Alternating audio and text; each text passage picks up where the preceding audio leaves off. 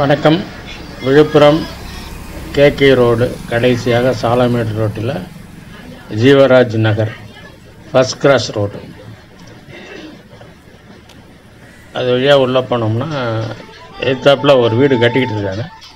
கட்டிகிட்டு இருக்க வீட்டுக்கும் பக்கத்து பிளாட்டு எழுபத்தஞ்சிக்கு முப்பது.